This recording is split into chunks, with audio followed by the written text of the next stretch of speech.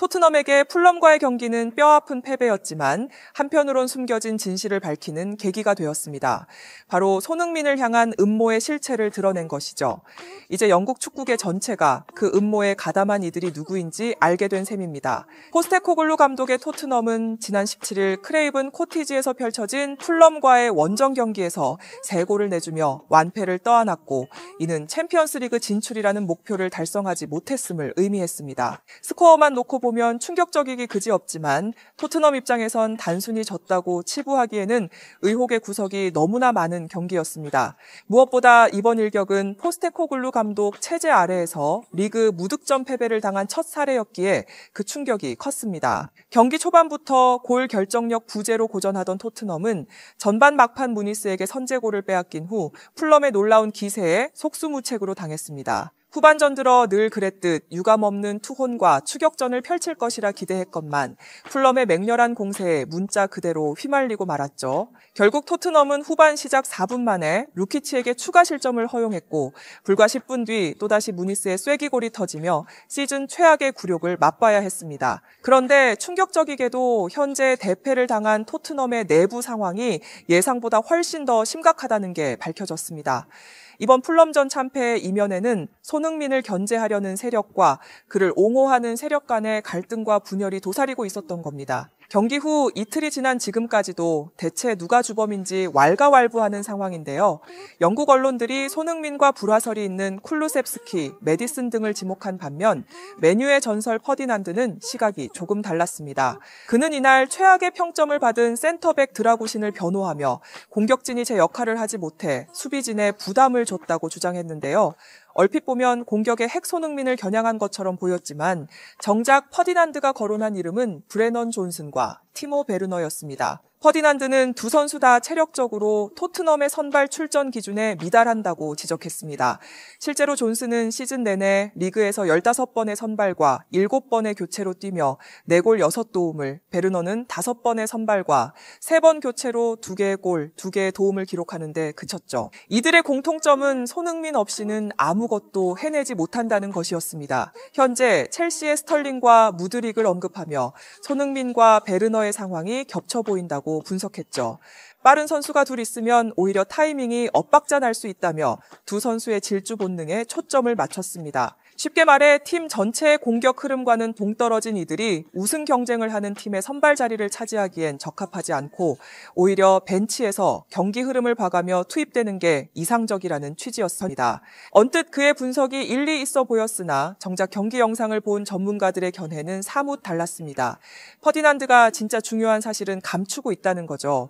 문제의 발단은 브레넌 존슨이나 티모 베르너 같은 공격수들이 아니라 이선에서 플레이메이커 역할을 하는 이들, 현지 현지에서 소위 손흥민 암살단이라 불리는 쿨루셉스키와 매디슨의 잦은 턴오버가 수비는 물론 동료 공격수들에게까지 치명적인 부담을 안겼다는 겁니다.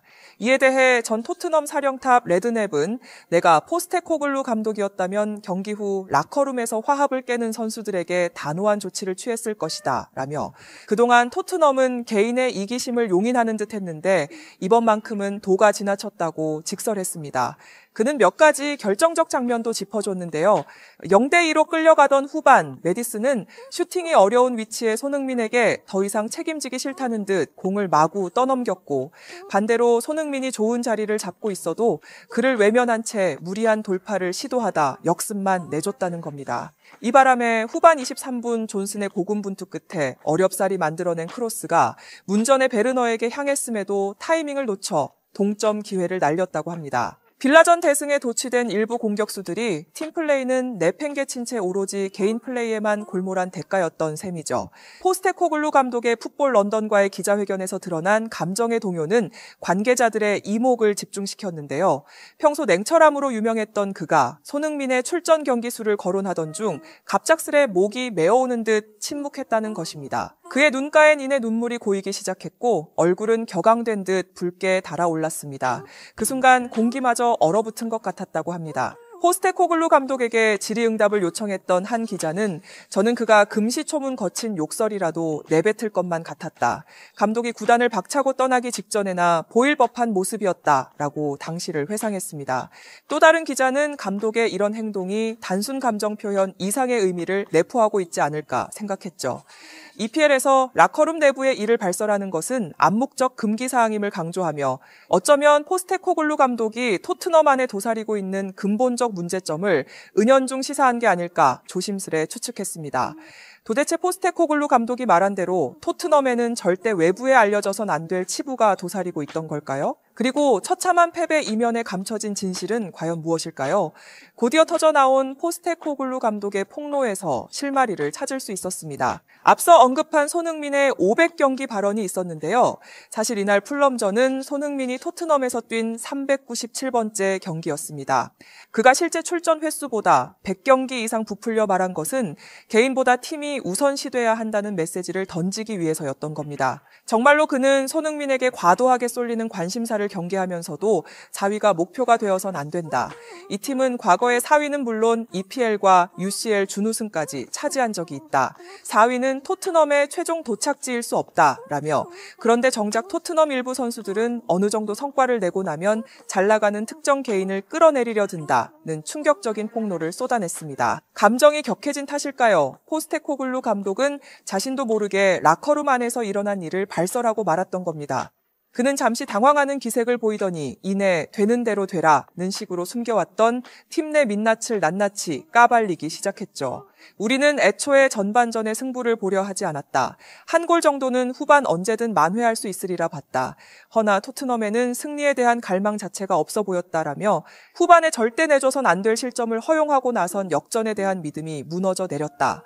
토트넘은 1년 내내 경기를 지배하고 이끌어가는 능력이 부족했다. 세 번째 실점을 당하는 순간 이를 확신할 수 있었다고 속내를 털어놓았습니다. 손흥민 또한 팀 공식 채널과의 인터뷰에서 뭐라 말해야 할지 모르겠다.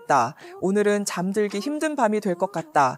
지난주 좋은 경기로 사기가 충전됐는데 라며 동료들의 잘못을 지적하진 않겠다. 축구는 팀 스포츠이고 우리 모두가 부족했다. 나 역시 비난받아 마땅하다고 입을 열었습니다. 우리가 먼저 플럼을 칭찬해야 한다면서도 우리의 실수가 결정적인 실점으로 이어졌다. 반면 우리에겐 동점 골 기회도 있었다. 이 밤새도록 변명거리는 차고 넘치겠지만 결국 우리의 경기력과 자세가 문제의 핵심이라며 팀 내분을 시인하면서도 동료애를 지키려 애쓰는 주장다운 면모를 보였죠. 너무나 묵직한 짐을 짊어진 듯한 손흥민의 모습에 팬들은 안타까움을 금치 못하고 있습니다. 그가 하루빨리 토트넘에서의 지난 날을 잊고 새로운 팀에서 좋은 조건으로 이적해 마음껏 웃으며 그라운드를 지배하길 간절히 바라고 있습니다. 후속 관련 뉴스는 계속해서 새전창에서 전해 예정입니다. 구독과 좋아요, 알림 설정은 채널 운영에 큰 힘이 됩니다. 감사합니다.